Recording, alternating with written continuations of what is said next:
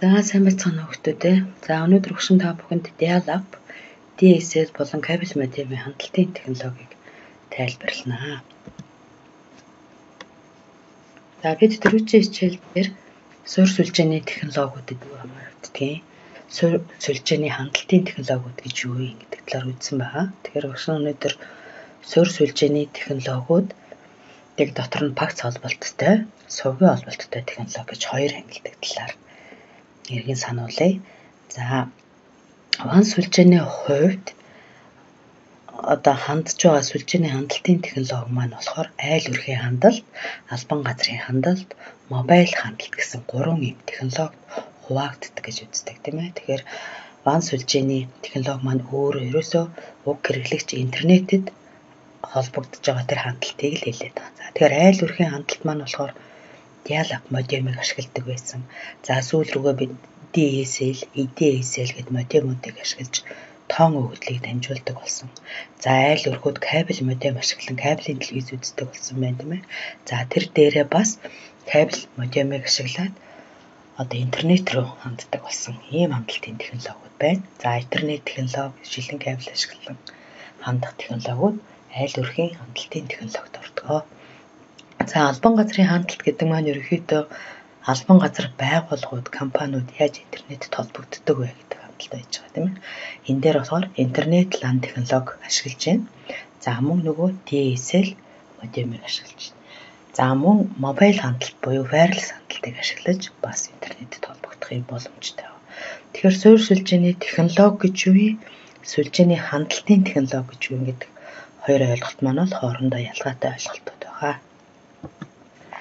За энэ ихэд хандлтын технологиг тайлбарлаж явах явцад хандлт, суурь сүлжээ, big band гэл хэрэглэгч гэл soho гэл ойлголт сүлжээний элементүүд яригдчих гарч ирнэ. За энэ дээр болохоор албан газар болохоор тэр soho эсвэл томоохон албан газрууд айл өргүүд бол энэ шилэн кабелийг ашиглаж компаниуд интернетэд хандж байгаа.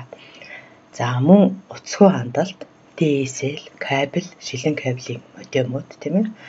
За Wi-Fi, WiMAX гэдэг тусгай сүлжээний хандлтуудыг бас ашиглаж хандж байгаа. Зөвлөрж байгаа. За сүлжээний кор төвшний хувьд болохоор шилэн кабелийн холболт, сансрын холбоо, радио холбоо зэрэг маань нөгөө дамжуулах орчинд орон.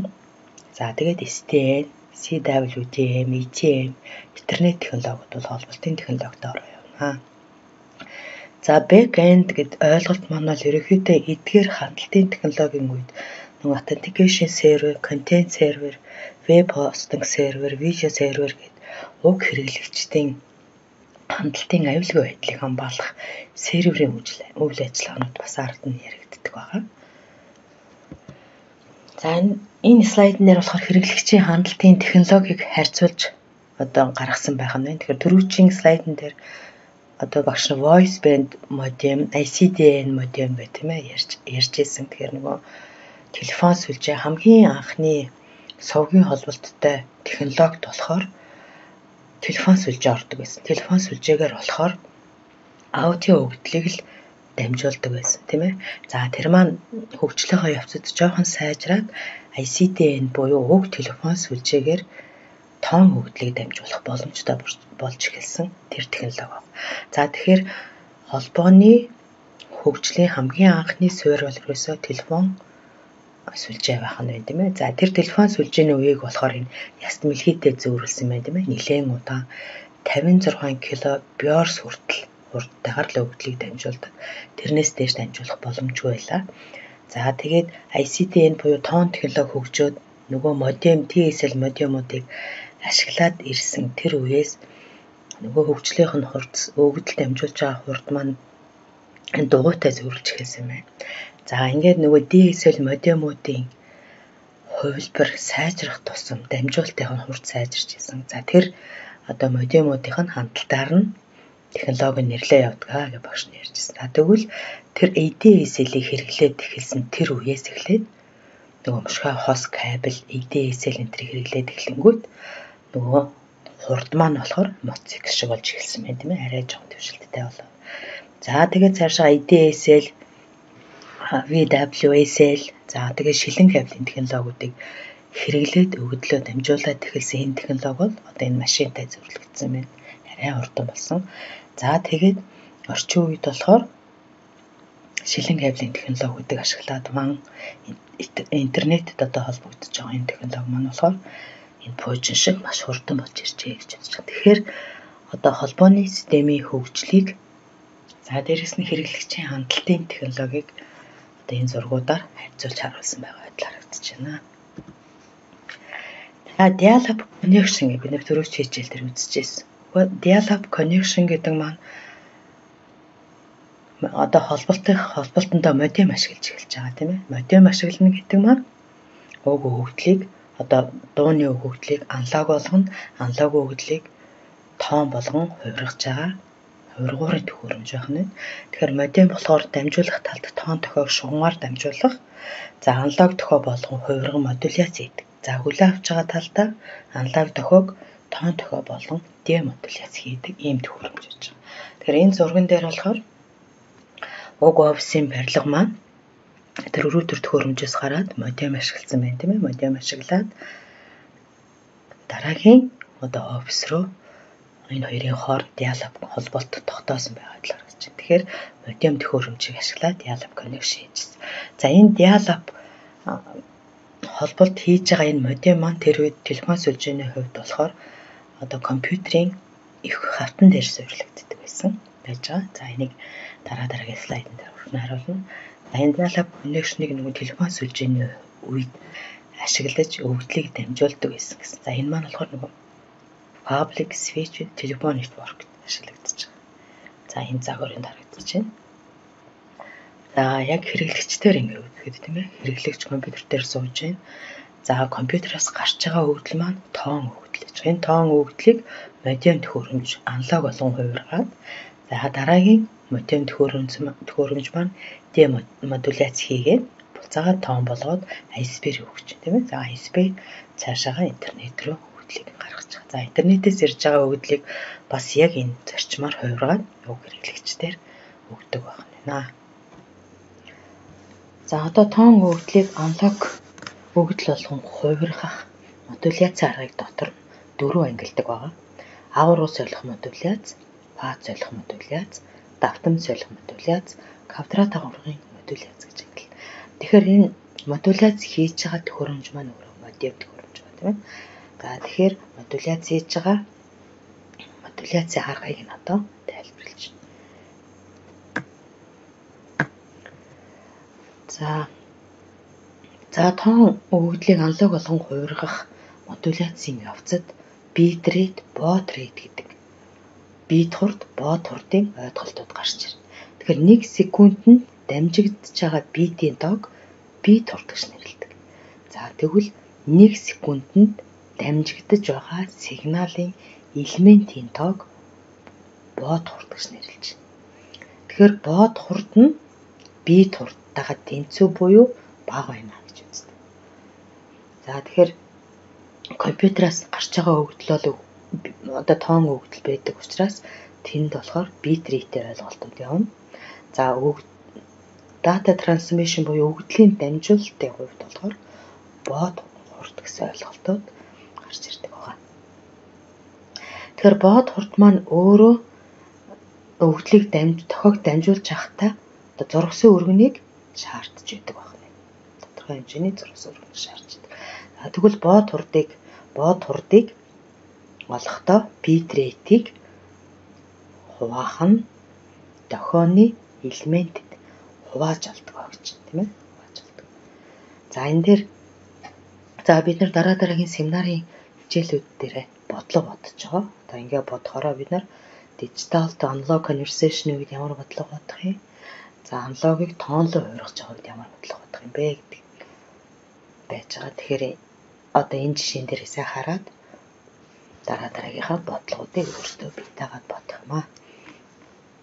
За энэ өгүүлбэр дээр болохоор аналог тохиом аналог тохион одоо тохионы элемент бүрдээ 4 битийг дагуулж идэг тийм ээ. Хэрвээ 1000 тохионы элементийг 1 секундэд дамжуулах юм бол бот рейт буюу бит рейт хэд байх вэ? За тэгвэл бод рейт нь 1000 юм байна. За тэгээд 1000-ыгаа дөрөвтэй өржүүлээд 4000 пиорсын урттай дамжуулнаа гэж үзэж байна. За дараагийн болохоор бит рейт нь дохионы бит рейт нь 3000. За тэгвэл дохионы элемент нь 6 бит. Одоо дохио болгон нэг хэсэгт нь 6 битийн элемент дамжиж байгаа бол бод хурдыг яаж олох вэ гэж тийм ээ. За тэгэх юм бол бод хурдыг олохдоо хурдыг нь нөгөө элементийн тоонд нугааж олно гэж хэлжсэн. За тэгээд 5000 бод секунд явах нь. Одоо нөгөө модуляцийн аргуудаа өгсөн тайлбарлая. За amplitude shift k буюу агуурга солих модуляц хийгддэг. За агуурга солих модуляц гэдэг маань одоо энэ графикэн дээр хараа. Агуурга гэдэг маань дохионы өндрийг хэлдэг. За тэгвэл энэ дохионы эхний тэг биетийн үед намхан дараагийн нэг биетийн үед нэлээд өргөн байж байгаа. Тэгэхээр дохиог агуургаар нь ингэж өөрчилж байгаа энэ хувиргалтыг агуурга солих модуляц гэж нэрлэдэг байна. Тэр агуурга солих модуляцийн хувьд давтамж фаз хоёрын тогтмол байдаг. За интерференсийн шууган өртөх магадлал өндөртэй. За ийм модуляц арга байж байгаа юм. За агуурх солих модуляцийн хувьд зурсан өргөн гэсэн ойлголт гарч ирнэ гэсэн тийм ээ. За агуурх солих модуляцийн хувьд бод рейт, бит рейт хоёр нь тэнцүү байдаг. За хамгийн минимум бандвич нь n bod гэдэгтэйгээ тэнцүү байна гэдэг зарчим агуурх солих модуляцийн хувьд бид нар бодлого бодоход энийг анхаарна гэсэн үг. За өв бодлогон дээр за нэг бодлогын нэг жишээг тайлбарлах гэж байна. За агуургал солих модуляцийн үед хамгийн бага зургсын өргөн нь 2000 бие орсон. За одоо өгдлийг хаалт төвлэхсээр дамжуулнаа гэж. За тэнгууд агуурга солих модуляцийн бодрид бидред хоёр бол адилхан байдаг гэж тийм ээ. За тийм учраас бодридийг 2000 гэж үзэж болно. За агуурга солих модуляцийн хувьд минимум зургасан өргөн нь болохоор бод рейдтэйгээ тэнцүү байдаг учраас минимум зургасан өрг 2000-ын гэрцэн угаасаа бод рейд нь болох юм байна гэж тийм. Тэгэхээр өгөгдсөн өгүүлбэрээ сайн уншаад агуурга солих модуляц байна уу? Давтам солих модуляц байна уу? Энэний үед одоо зургасан өргөн ямар байдаг вүлээ? Бод рейд, бид рейд нь ямар байдаг вүлээ гэдгээ бодчихэж бодлого бодох нэ. За энэ дээр бас нэг full duplex агуур солих модуляц гэдэг бодлогыг оруулсан тийм ээ. За. За 10 одоо зурвсын өргөнийг нь 100000 гэрц гэж өгсөн тийм ээ. Хамгийн ихний зурвсын өргөн 1000 төгсгөлийн зурвсын өргөн 11000 гэж тийм ээ. За 1000-аас 11000-ын зурвс давтамжийн хооронд зурвсын өргөн өгсөн байна. За агуурыг солих модуляцийн хувьд пул төвлексээр өгөгдлөө дамжуулж яана гэж тийм ээ. За пул төвлексээр дамжуулж байгаа тохиолдолд хоёр хоёр чиглэлд өгдлийг дамжуулна шүү дээ. За тэрийгэ бодож бодлогоо одно. За пул төвлекс агуur солих модуляцийн хувьд зурвсын өргөн нь хоёр чиглэлд байгаа учраас одоо нийт зурвсын өргөнийг хоёр тугаана гэж байна. Хоёр тугаага 5000 гэрц. За. За одоо хоёр тишээ зурвсан өргөн нэг гарах гэж байгаа учраас форвард талдаа хамгийн бага зурвсан өргөн 1000 учраас 1000 дээр нэмэх нь 5000 хуваах нь 2 гээд 3500 гэрц одоо энэ зөөгч давтамжийг олж байна тийм ээ. За дараагийн зөөгч давтамж нь 11000-аас хасдаг нь 5000 хуваах нь 2 буюу 8500 кГц. Тэгэхээр агууруу солих модуляцийн үед зурвсан өргөнийг олохдоо пул дуплекс дамжуулалт байна уу, хаалт дуплекс дамжуулалт байна уу гэдгээрээ бодлогоо ялгаж бодох юм байна. За дараагийнх нь давтамж солих модуляц. За давтамж солих модуляцийн хувьд болохоор агуурга фаз хоёрын тогтмол байдаг. Дохионы зөвхөн давтамжийг нь өөрчилж хувиргаж байгаа энэ процессыг л давтамж солих модуляц гэдэг. За энэ дээр мөн л зөөгс давтамжууд хэрэглэгдэнэ. За мөн зургасан өргөн гэсэн ойлголт гарч ирж байгаа тийм ээ.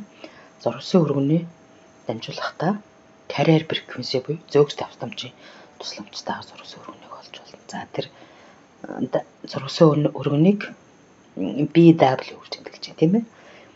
FC1, FC0 ялвар дээр нэмдэг нь baud rate байх нь. За энэ дээр нэг жишээ бодлогод болсон байж байгаа. За тэгээ энэ бодлогоудаас харж агаад дараа дараагийн бодлогоудаа бодорой.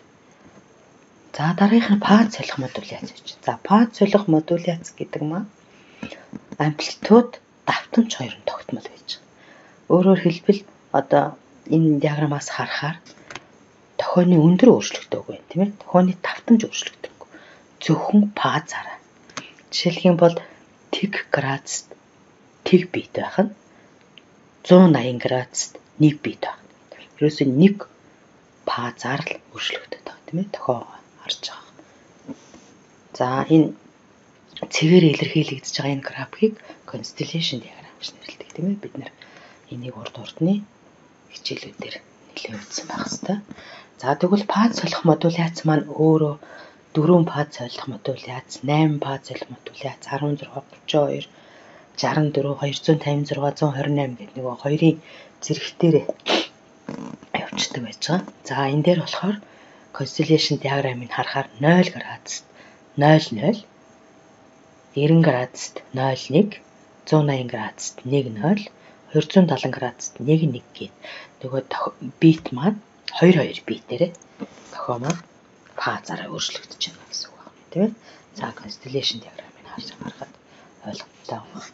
За 8 фазлах модуляцийн хувьд гэвэл 2-ын 3 зэрэгт буюу 8 байх нь. Тэгэхээр дамжуулж байгаа бит маань 3 ураар дамжина гэсэн үг байна тийм ээ.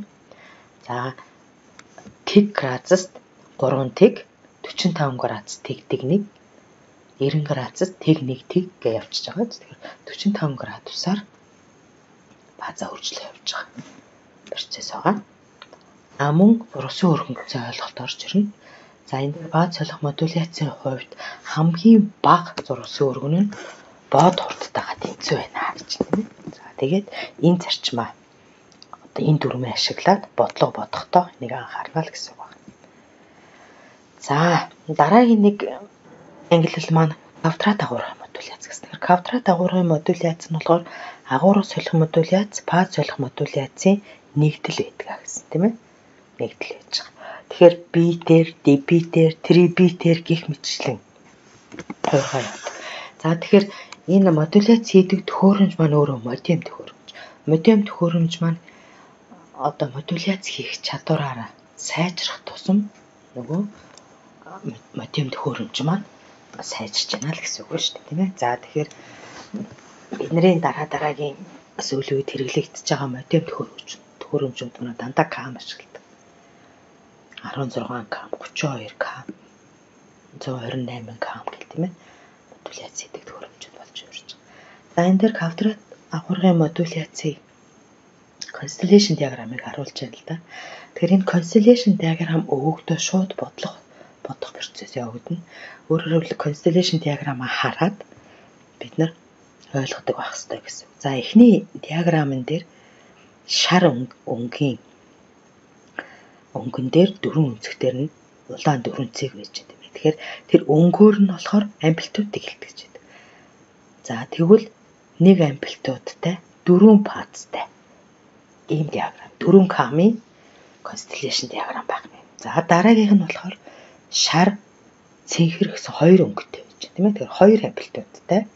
За нэг өнгөнд дөрвөн улаан цэгүүд байж хаад. Тэгэхээр дөрвөн фазт. Тэгэхээр өөрөөр хэлбэл энэ маань 8 камын constellation diagram байна. Гэх мэтчлэн.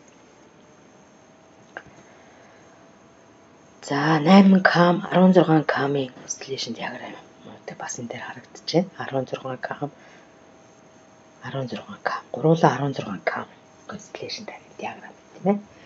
Дөрвөн амплитудтай, гурван амплитудтай, хоёр амплитудтай, 8 бааз, 12 бааз constellation харагдаж байна. За. За камын хувьд болохоор агуур гарна тийм ээ. Өндрөөр нь тохион удаа гаргаад агуур өндөр нь өөрчлөгдөөд шо фаз нь өөрчлөгдөж явсан байна тийм ээ. Тэгэхээр кам үед агуурга фазаар нь өөрчилж байгаа модуляцийг квадрат модуляц гэж нэрлэдэг байна. За энэ дээр болохоор бит бодны харьцааг харуулсан байна. Манууд биднэрт бодлого болоход бодох нэлээд хэрэгтэй. За урдлын зурган дээр дамжуулж байгаа битийг хичнээн битээр дамжуулж байгаа гэдэг нь харагдчих тийм ээ.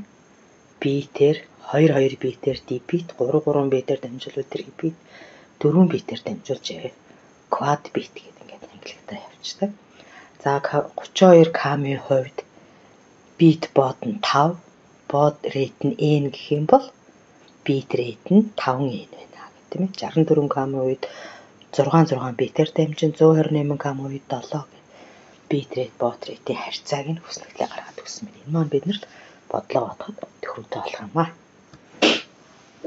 За энэ бит бот рейтийн харьцааг харуулсан бодлогод байж байгаа. За энэ бодлогод саяны одоо хүснэгтэй ашиглаад бодоход амархан болно гэсэн үг байна. За тэр хамгийн доор бот рейт нь 72 мянга байх юм бол 64 км-ийн үед хэд байх вэ? хэдэн одоо бод рейт байх вэ гэж байгаа тийм ээ. Тэгэхээр 64 км-ийн үед 6 6 битээр дамжуулдаг учраас логарифм 264 буюу 2-ын 6 зэрэгт нь 64. За тэгвэл 72 мянгагаа 6-ад хуваагаад 12 хурдаар дамжнаа гэж гарах юм шүү дээ. За дараагийн нэг хувиргалт болохоор нөгөө аналог to analog modulation байж байгаа. Нөгөө модем төхөөрөмж маань тооныг аналог, аналогийг тоонд хувиргадаг төхөөрөмж гэсэн. За тэгвэл аналогийг аналогт хувиргадаг төхөөрөмжийн модуляцийг дотор нь 3 ангилдаг. Агуургын модуляц, давтамжийн модуляц, фазын модуляц гэж 3 ангилна. Энэ бол ерөөхдөө бодлогон дээр явна. За энэ амплитуд модуляцийг одоо энэ графикаас харахад ойлгомжтой. Хамгийн дээдлийн зурган дээр болохоор аудио сигнал явж байна, тийм ээ. Энэ аудио сигналыг зөөгч давтамжийн тохиогоор холиод тэгээд агуурга агуургын модуляцийн тохиог гаргаж авч байгаа юм харагдаж байна. За энд бас л мөн зургасан өргөний ойлголт орж ирнэ. Агуурга солих модуляцийн хувьд зургасан өргөнийг хоёр дахин авдаг байх нь. За. За агуурга солих модуляцийн хувьд нөгөө нэг зурвсын байршлууд их чухал байдаг. Тэгэхээр зургсын өрг нь аврах солих модуляцийн хувьд хоорондоо 10 кГц зайтай байх нь. За frequency modulation гэж тийм ээ. За энэ дээр болохоор яг зурган дээрээ гарахаар за мөн л аудио тохиог carrier frequency-ийн тохионы тусламжтайгаар энэ хоёрыг хооронд нь холж аваад FM сигналыг гаргаж авч байгаа процесс харагдаж. Тэгэхээр энэ бол яг амьдрал дээр биднэрт нөгөө нэг FM радио станцууд байж байгаа тийм ээ. FM радио станцууд бол яг энэ зарчмаар модуляц хийгээд тэгээд аудио хөгжлийг бид нэр цацдаг байна. За тэгвэл энэ FM радио станцуудын хоорондын зай 200 кГц зайтай байх хэрэгтэй. Өөрөөр хэлбэл бие биенээсээ тийм зайтайгаар оршиж явах хэрэгтэй байна. Хэрвээ энэс ойрхон байх юм бол интерференс үүсээд тохионууд нь шууган төртөөд бид нэр сонсогдох болох нь шүү дээ. За энэ байршлаг зургаар харуулсан байна тийм ээ 200 кГц-с ойрхон фемерат станц байрлаж болохгүй нэ. За 88 МГц-с 108 МГц-ийн хооронд л одоо хөдөл дамжуулдаг юм давтамжийн зургастай байх нэ. За за тэгвэл ингэж модуляц хийдэг энэ төхөөрөмжийг модем гэж нэрлэсэн. За тэгвэл диалог холболтын үед болохоор диалог модемыг ашиглаж ирсэн тийм ээ. За тэгэхээр модемыг дотор нь интернал модем, экстернал модем гэж хоёр ангилдаг. Интернал модем гэдэг маань өөрөө ийм компьютерийн их хавтан дээр суурилдаг санах хойн карт дисплей карт ийм хэлбэртэй байдаг юм. За экстернал модем гэдэг маань тэг бит битээ гадна гадна шууд залгаж холбодог ийм модем баг нэ. За тэгвэл модемийн хөгжлийн явцаар нь бас модемыг ангилна. За V серийн модем гэдэг чинь тийм ээ. V22, V32, V34 серийн модемууд. За эдгээр нь болохоор секундэд өөрийнхөө төлөвийг хурцж байдаг. 600 бод хурд хурдаар 1200 битийг хуурах модуляц хийх ийм чадвартай модуляц хийдэг одоо модемод авах нь шүү дээ тийм ээ. За тэгээ энэ модемийнх нь нэрээр нь модемиг стандарт гэж нэрлээ явчихдаг байгаа. За энэ дээр одоо V серийн модемуудыг энэ ITUT стандарт гэж нэрлэлсэн байж. ITUT гэдэг маань олон улсын одоо цахилгаан нэг компани гэж байгаа тийм ээ. Өөрөөр хэлбэл модемиг V серийн модемиг үйлдвэрлэж гаргахад ийм юм стандартыг баримтлана шүү. Бүгдийг нэг заагаад өгсөн байна тийм ээ. За тэгэхээр минд одоо V модем, V32 серийн модемиг энэ дээр тайлбарлсан байна. За модуляц хийдэг, мөн кодлол хийдэг техниктэй. За 5 битээр 3 битээр кам хийж одоо хуургадаг. За 32 кам боловсруулалт хийдэг юм тийм ээ. Constellation нь харахаар ойлгомжтойгоор тайлбарлсан байна тийм ээ. V32, V34 гэдэг модемийнхаа нэрээр модемыг стандартаар тодорхойлоо явуулсан. За V90 гэдэг стандарт гэж байна тийм ээ. Модем гэж байна. За энэ маань болохоор нөгөө интернетийн ISP руу холболт тогтооход ашиглагддаг модем байна. V90 гэдэг маань. За гих бичлэл нөгөө модемууд ашиглагдаж байгаа холбож байгаа холболтоор өөр өөр нэртэйгээр байна. Тэгээд модемын маань хөгжил хурд одоо модуляц хийж байгаа кодлж байгаа процессууд нь сайжрах тусам тэр нэршлэрээ стандарт гэж явуулдаг байна. За тэгвэл dial-up connection гэдэг нэг телефон сүлжээний үед одоо ашиглагдаж байсан одоо интернетэд холбогдохын тулд dial-up холбогдыг бид нар хийжсэн. Dial-up холболтыг хийхдээ бид нар dial-up модемыг ашигладаг байсан гэж ярьжсэн. Энэ маань болохоор нэлээд хямд хэрэглэхэд хялбар. За тэгээд хурд нь бол 56 кбит хурдтай учраас нэлээд удаан гэж тоцрогдсон гэж бид ярьжсэн тийм ээ. За За тэгвэл энэ DSL кабель холболтыг дэлхийн нийтэд одоо хүртэл бас ашиглаж байна. Тэр дэлхийд өндөр хөгжилтэй орны айл өрхийн 65% нь DSL-ийг ашиглаж байна. За Швед, Нидерланд, Финланд улсуудын 80% нь Америк нэгдсэн улсын айл өрхийн 90% нь DSL кабель модемыг ашиглаж байна. За тэгвэл Монголд бол бас Micom DSL-ийг ашиглаж байна тийм ээ. За Сансар интернет кабелийн компани кабель модемыг ашиглаж байгаа. За бусад аймагуудад хүртэл тийм ээ. DSL кабель холболтыг одоо ашигласаар байна гэж үзэж байгаа. Тэгэхээр энэ DSL гэдэг нь digital subscriber line гэдэг үгний төвчлөл байна шүү тийм ээ. За энэ маань өөрөө модем шүү дээ. За тэгвэл DSL нь уламжлалж телефоны сүлжээгээр тоон өгөгдлийг дамжуулах өргөн сургамжийн технологиудын нэг юм. Тэгэхээр DSL мөн телефон шугамар уламжлалт яриа дамжуулах үйлчилгээг зэрэг явуулж чаддаг учраас арай дэвшилттэй. За энэ одоо технологиг ашиглаад айл өрхүүд албан газрууд интернетэд одоо хандж чаддаг болсон байгаа. За өөрөөр хэлбэл тэр үедээ бол айл өрхийн албан газрын хандлтын шин шийдэл болж чадсан гэж үздэг. За тэгвэл DSL холболтыг бид нэр ярих завсар бол loop гэсэн ойлголт гарч ирнэ. Энэ маань өөрөө одоо айл өрхөөс тийм ээ хамгийн ойрын телефоны оператор өрөө буюу офс өрөө хүртэлх холбосон холболтын кабелийг loop гэж нэрлэдэг. Тэгэхээр энэ loop маань өөрөө хос мушгаа кабель ашигладаг. Аналог тохиог дамжуулдаг ийм кабель авна. За телефон сүлжээгээ бид нөрөөдөө суур сүлжээ гэж нэрлэдэг да. Backbone гэж нэрлэдэг тийм ээ. За коксол кабель, шилэн кабель, утасгүй холболтын кабелүүдийг ашиглаж бид нэр одоо тоон систем буюу тоон тохиог дамжуулдаг болчиход байна. За тэгвэл энэ 1980-аад оны эхэнд Беллийн лабораторид loop-ээр 300 Гц-с 3400 Гц-ийн давтамжийн зурвас хүний яриаг дамжуулж болдсон байна гэдэг анх олж гаргасан байдаг. Тэгэхээр олон жилийн турш энэ 4 кГц-с дээш давтамжийг ерөөсөө ашигладаггүй. Зөвхөн энэгээр л хүний ярианы өвдөлт дамждсан байна гэдэг ойлголтыг хамгийн анх авчихсан. За тэгвэл DSL гэдэг төвшөлтөд технологи гарч ирснээрээ 4 кГц-с дээш давтамжийг ашиглан өндөр хурдаар өгөгдөл дамжуулах боломжтой болж эхэлсэн байна. За тэгвэл энэ 4 кГц-с дээшээ 1 МГц хүртэл давтамжийг ашиглаад DSL-ийг ашиглан өгөгдлийг дамжуулах боломжтой болж иржээ. За тэгвэл DSL гэдэг модем маань өөрөө нөгөө хөгжлийнхаа явцад EDSL, SL, YDSL гэх олон шинэ технологиуд гарч ирсэн тийм ээ. За эдгээр EDSL технологид ашигладаг модуляцийг болохоор carrierless amplitude pass гэж нэрлэж байна тийм ээ. Бас л нөгөө AT&T-гээс гаргасан 16 кам дээр суурилж өгдлийг одоо модуляцлдаг. За гүйцэтгэл маш сайн боловч ерөнхийдөө илүү комплекс. За DMT модуляцаар одоо солигдсон. Одоо DMT гэдэг маань discrete multitone гэдэг үгний төвшөлт байна тийм ээ.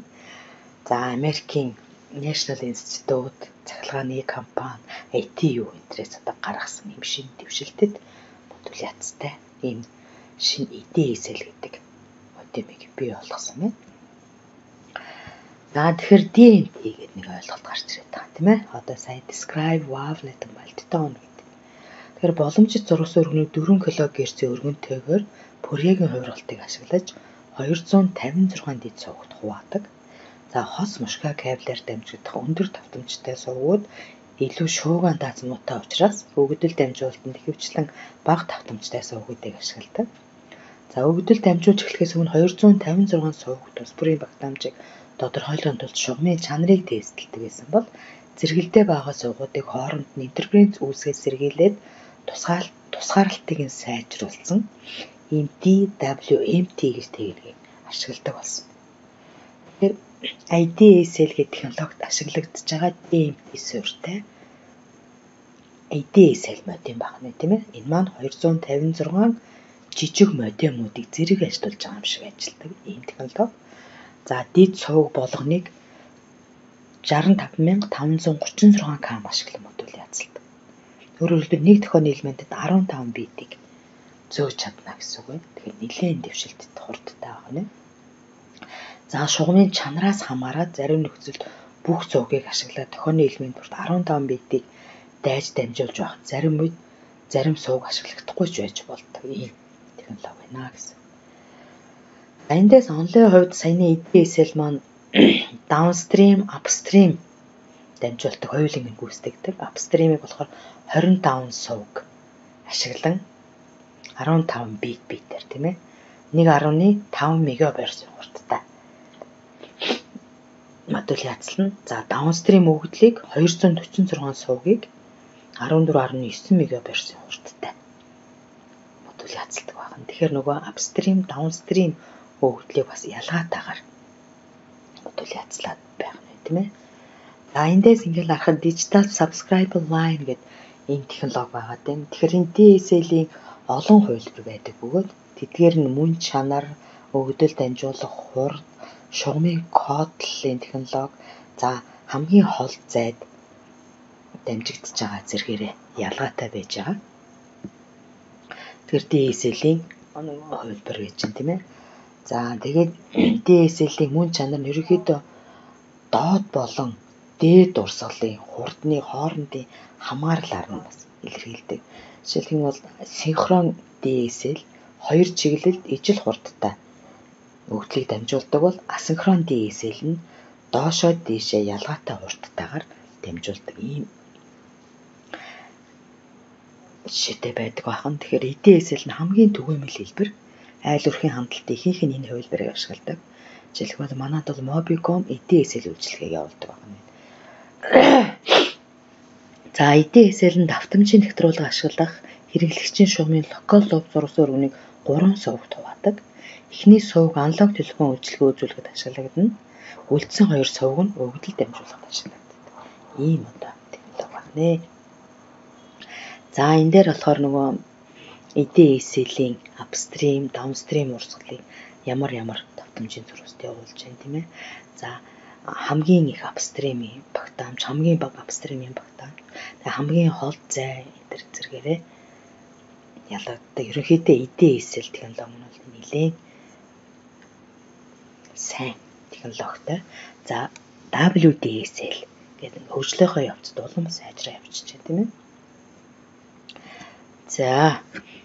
За тэгвэл энэ DSL гэдэг энэ холболтын технологиг ашигладаг холболтын хоёр төхөөрөмж байна гинэ. За тэр хоёр төхөөрөмжийг трансцейвер, DSL access multiplexer гэж нэрлэдэг. За трансцейвер нь болохоор хэрэглэгчийг хэрэглэгчийн компьютерийг одоо холбож өгдөг. DSL-тэй холбож өгдөг энэ төхөөрөмжийг трансцейвер гэж нэрлэж байна. За тэгвэл DSL access multiplexer буюу DSLAM гэдэг төхөөрөмж маань болохоор DSL холболтын хэрэглэгчийг ISP руу холбож өгдөг төхөөрөмж өө гэж тийм ээ. Тэгэхээр энэ кабелийн телевизийн үйлчилгээ маань өөрөө DSL холболтыг ашигладаг гэсэн. За энэ дээр болохоор тусгай дууны буюу одоо тоон өгдлийг дамжуулах холболтыг одоо энд харуулсан байна гэж тийм ээ ашиглаж байгаа төхөөрөмжүүд нь өөрөөр. За тэгэхээр энэ ерөөдөө энэ модемын хөгжлийн үе шатаар нь ингээд харахаар модемынхоо яг ажиллаж байгаа хөгжлөөр нь бас стандарт гэж нэрлэе явчих. Тэгэхээр энэ үндсэн стандарт хөгжүүлэлтийг олон улсын маш олон том байгууллагууд чинь тийм ээ ANSI, ETC, ITU гэл тийм ээ DSL forum гэдэг энэ олон стандартын байгууллагууд маань одоо энэ төхөөрөмжүүдийг одоо яг нь холболтондоо зориулсан төхөөрөмжүүдийг үйлдвэрлээ гаргадаг байна. Хөгжүүлдэг байна. За тэгвэл энэ ETSL технологиг ашигладаг нэг одоо холболтын нэг том төлөөлөл нь бол кабелийн телевизийн сүлжээ байна тийм ээ. Кабелийн телевизийн шүлтэй сүлжээ бол ерөөхдөө видео хөгдлийг дамжуулахад за интернет рүү хандахад зориулагдсан энэ холболтын сүлжээ гэж байгаа. Тэгэхээр энэ кабель сүлжээний уламжлалт кабель сүлжээг болохоор ерөөхдөө 1940 оноос эхлээд хамгийн анх одоо ямар ч одоо хандлт интернет руу ямар ч утас тохионы холболт авдаггүй тийм нэг ядуу гэж хэлдэг юм уу да буура оронд тийм ээ. За их аслагдман зайтай ч юм уу тийм ээ. Одоо ой шогууд ч юм уу байдаг юм улс орнуудад хамгийн түрүүнд тохиог одоо хүргэхэд тулд 1940 оноос эхлээд кабелийн телевизийг хөгжүүлж эхэлсэн байж. Тэгэхээр энэ кабелийн телевиз маань өөрөө яадаг вэ гэхээр кабель телевизийн антенн ашигладаг. Өөрөөр хэлбэл тэр антенныг өндөр газар байрлуулад тэр антеннаас тохиог гаргаж аваад тэр тохиог цааш нь хувиргаад коксал кабель ашиглаад дамжуулдаг. Энэ аргыг л кабель телевизийн одоо үүсэл гэж хэлж байгаа. Айн дээр харуулсан байна тийм ээ. Тэр пикинг антенн гэдэг нэлээд өндөр барилга дээр энэ кабелийн телевизийн антенныг байршуулаад за энэ дээр энэ антеннаас тохиогоо аваад коксол кабелаар холбоод за коксол кабелаар холбож байхдаа дунд нь маш олон тооны өсвөрчүүдийг байрлуулжсэн. Ингээ өсвөрчүүдийг байрлуулаад цаашаа өсгөөд ирсэн тохиог кабелийн телевиз одоо авах гэж байгаа айл өрөх болох нь сплиттерээр ингээд тусгаарлаад одоо дамжуулдаг байсан. Энэ арга бол ерөнхийдөө traditional cable дургасан байна. За сүүл рүүгээ кабель телевизийн хоёр дахь үе буюу hybrid fiber coaxial сүлжээ гэж нэрлэгдээд ирсэн тийм ээ. Hybrid fiber coaxial буюу шилэн coaxial кабель ашиглаж кабелийн телевизийн холболтыг үүсгэсэн байна. За ингээд ашиглаад үүсгээд эренгүүтээ одоо нөгөө телевизийн офисын ашиглаж байгаа бокс төхөөрөмжүүд маань шилэн болж гэлсэн дамжуулж байгаа кабелүүд маань шилэн болж гэлсэн тэнд ашиглаж байгаа дундын төхөөрөмжүүд маань шилэн оптикал файбер энтрээр хийгдсэн. За тэгээд нэлээд хурдан дамжуулдаг юм. Технологиуд орж ирсэн байна тийм ээ. За одоо энэ өндөр антеннаас кабеллээс антеннаас орж ирж байгаа тохиог маш өндөр урдны шилэн кабелийг ашиглаад дамжуулаад өсгөчгүй тийм ээ бие дараагчнал амплитууд аваад нэг удаа өсгөж өгөөд за тэгээ свич төхөөрөмжтэй холбоод свич төхөөрөмж маань цаашаа файбер нод буюу шилэн бокс төхөөрөмжүүд рүү илгээгээд тэрэн цаашаа айл өрхүүд рүү хуваарлдаг юм зарчим. Тэгэхээр энэ мэдээж шилэн коксал кабель ашиглаад ирэхээр дамжуулж байгаа хөглөө маш хурдан болж байгаа юм тийм ээ. Энэ технологи бол энэ маань болохоор одоо кабелийн телевизийн хоёр дахь хөгжлийн үе шиг гэж үздэг. За тэгвэл кабелийн телевизээр мөн өгөгдлийг дамжуулдаг болсон байна тийм ээ. NFC технологиг ашиглаад шилэн кабелаар коксол кабелаар өгөгдлүүдийг дамжуулж гэлсэн. За өгөгдлийг дамжуулахдаа 5-аас 750 МГц-ийн зурвсын өргөнийг шаардаад за тэгээд видео өгөгдөл, даунстрим өгөгдөл, апстрим өгөгдлүүдийг зэрэг дамжуулдаг болсон. Зэрэг дамжуулах тус тусын ийм зурвастай болж эхэлсэн байна тийм ээ. Тэгэхээр эхний зурвасаар видеог нь дамжуулна, дараагийн зурвасаар нь даунстрим датаг нь, дараагийн зурвасаар нь апстрим датаг нь дамжуулах ийм хандлага технологиуд тэр зурвас өргөөр нь хувааж дамжуулдаг технологи гарч ирсэн тийм ээ. Ингээд ерөнхийдөө кабелийн телевиз 5-аас 42 МГц-ийн зурвасыг өргөнд дата апстрим дамжуулаад 54-өөс 550-д видео апстрим видео дамжуулаад за 550-аас 750-ийн хооронд дата даунстримыг дамжуулдаг. Ингээд зурвасын өргөнөөр нь хуваарлж өгöd дамжуулдаг процесс хийгдээж кабелийн телевиз хөгжиж эхэлжээ гэж үзэж штэ тийм ээ. Тэгэхээр кабелийн телевиз маань холболт одоо айл өрхийн кабелийн телевизийг холбохдоо ерөнхийдөө дандаа кабель модем ашиглаж байгаа гэж үзэж байгаа. Аа тэгвэл энэ даунстрим видео банд гэдэг юм тийм ээ. 54-өөс 550 МГц-ийн давтамжтайгаар одоо даунстрим буюу доошоо урсгалтай өгөгдлүүдийг видео өгөгдлүүдийг дамжуулна.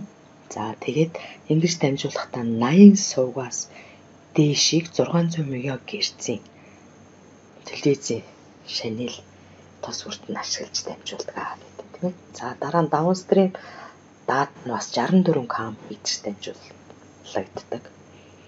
За нэлээд за ингэж дамжуулахдаа одоо 6 МГц-ийн тус тустай амь совг болон хувааж модуляц хийж дамжуулдаг болж гэлсэн гэдэг тийм ээ. За ингээд дамжигдж байгаа камерлизер дамжигдж байгаа даунстрим дата маань яаж дамжигддаг юм бэ гэдгийг л харуулсан тайлбар тийм ээ. 64 км модуляц хийгддэг. Тэгээд 6 битээр би 6 бит битээр дамжуулдаг. гэх мэтчлэн тийм ээ. За тэгэл ингээд хөгжлөөх явцад нэлээд хурдтай болоод эхэлсэн. Тэгээд даунстрим дата, апстрим датагийн тус тустай хийгдэж байгаа процессүүд өөр, ашиглагдж байгаа зургсын өргөн өөр, ашиглагдж байгаа шанаалууд нь өөр өөр байгаа гэж хэлж байгаа. За. За ингээд кабелийн телевизэд ашиглагдж байгаа бас нэг хоёр төхөөрөмж байна. За энэ хоёр төхөөрөмжийг CM буюу кабель модем За CMTS буюу Cable Modem Transmission System гэдэг энэ хоёр төхөөрөмжийг одоо ашиглаад тэгээ ADSL модемыг ашиглан одоо кабелийн телевизийн хөгжлийг тодорхойлж болж байна гэж тийм ээ. За тэгвэл CMTS энэ Cable Modem Transmission System нь болохоор яа гэм бэ гэхээр кабелийн кабелийн үйлчлэгийг одоо хийж байгаа тэр distribution компани дотор талд байрлана. За тэгээ энэ маань интернет шууд холбогдно. За мөн гаднаас ирж байгаа өгөгдлийг хүлээж аваад боловсруулад интернет рүү гаргана. Интернетээс ирж байгааг хүлээж аваад боловсруулад кабель модем руу өгнө гэсэн ийм зарчимтай ажилладаг төхөөрөмж байна. За тэгвэл энэ кабель сүлжээний хувьд стандартууд яригдана. За тэгвэл энэ DOCSIS гэдэг энэ Data over Cable Service Interface гэдэг тийм ээ. Энэний товчлоор нэрлсэн байна. Энэ болохоор олон улсын кабелийн технологийн хөгжүүлэлтийн стандарт гэж ойлгож байна. За. За ингээд ерөнхийдөө Европын орнууд хүртэл DOCSIS гэдгийг мөн өөр өөр жоохон төрдөр хөгжүүлээд Европын орнд хүртэл таксисыг стандарт болгон ашиглаж ирсэн гэж хэлж штэ тийм ээ. За тэгвэл кабелийн телевизийн стандарт бол таксис бэ гэж болно гэсэн. А энэ дээр болохоор одоо кабелийн телевизийн холболтыг нэлээд сайжирсан байгаагаар харуулж байна. За эхний тэр CMTS болохоор Cable Modem Transmission System. За CM болохоор кабель модем байж байгаа тийм ээ. LAN руу холбогдож байгаа модем. За fiber node буюу optical connection conversation байж байна. За энэ хоёр маань нийлээд hybrid fiber coaxial network маань болж өгнө гэсэн үг байна шүү дээ. NFC. За за тэр шугамар бол ерөнхийдөө зурвсын өргөнийг хамтдаа ашиглана гэсэн санаа. За ингээл кабелийн телевизийн сүүлийн гэрэн бол ерөөсөө NFC ашигласан ийм шин хувилбар бий болсон байна гэж ойлгоо. За ингээд өнөөдрийн хичээл маань ерөнхийдөө энэ дүрээд өндөрлөлөө. Тэгэхээр багш нь энэ лекцийн ард бас нэг 10 асуулт тавьсан байгаа. Өөрийгөө зорих тест. За лекцээ үзээд тэр асуултуудаа бүглөө яваарай. 3 дугаар лекц, 5 дугаар лекцийн дараа нэг квиз буюу шалгалт аваа явна. За тэр шалгалтны оноогоор багш нь та нарыг хичээлээ үзэж явж байгаа гэдгийг баталгаажуулах юм аа. За ингээд анхаарал хандуулсанд баярлалаа.